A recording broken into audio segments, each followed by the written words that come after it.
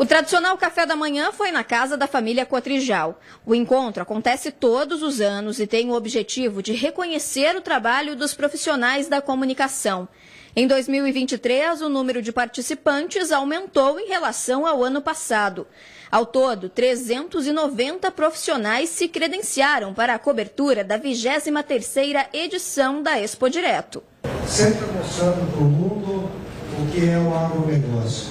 E elogiando no momento certo, sugerindo no momento certo e criticando quando precisa e a gente ser uma crítica como sugestão, uma construção. O vice-presidente da Cotrijal, Enio Schroeder, destacou que a imprensa, desde a primeira edição da feira, tem um papel extremamente importante na divulgação dos fatos. O evento contou com a presença da direção da cooperativa, autoridades, patrocinadores da feira e representantes dos veículos de comunicação.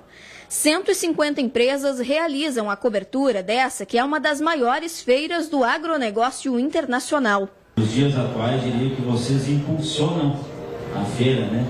A gente sabe as nossas redes sociais, a Expo Direto está lá. Se nós ligarmos o rádio do carro, a Expo Direto vai estar presente. Se a gente olhar a televisão, vai estar presente e ainda também nos meios escritos nos jornais. Então vocês têm sim uma grande participação no resultado positivo em tudo que a Expo Direto se transformou. A mesa farta chamou a atenção dos convidados, afinal tudo tinha aquele gostinho caseiro.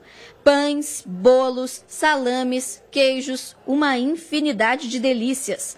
A Expo Direto Cotrijal segue até a próxima sexta-feira. E só pelo movimento no parque já dá para prever que os números finais serão comemorados por todos pelo lançamento em Porto Alegre, que foi realmente um sucesso, pelo Troféu Brasil Expo Direto, que bateu o recorde, pelos dois primeiros dias, não temos, temos certeza que chegaremos na sexta-feira junto com vocês, anunciando aí grandes resultados.